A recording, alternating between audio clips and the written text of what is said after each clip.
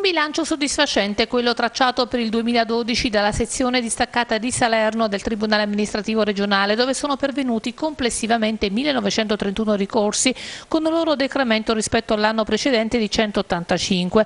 Nel corso del 2012 sono stati deferiti circa 8.517 affari e questo risultato complessivo si aggiunge a quello consegnato nel 2011. Il buon esito, ha dichiarato il Presidente della sezione di Salerno del TAR Antonio Norato, è dovuto essenzialmente essenzialmente all'impegno costante, senza oneri aggiuntivi, di magistrati e di tutto il personale amministrativo.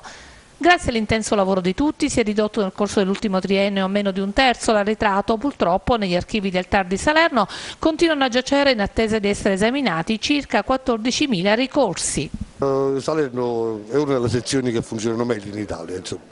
abbiamo avuto una buona produttività e e speriamo come di Dio che entro il 2014 dovremmo eliminare l'arretrato. Ecco, però ci sono ancora 14.000 ricorsi giacenti. Eh, ma ne abbiamo tolti 35.000, quindi insomma siamo sulla buona strada. Sentenza immediata addirittura dopo 15 giorni dal deposito del ricorso c'è la sentenza, molte volte. Molte altre volte c'è bisogno di più tempo, insomma. Stanno abbattendo molto i tempi, sì, sì. Abbiamo ridotti già Uh, normalmente la durata di un ricorso medio è un anno, un anno e mezzo, prima era sei anni, sette anni. Dunque entro il 2014 riuscirete a recuperare insomma, in qualche modo questo? Guarda, nel 2014.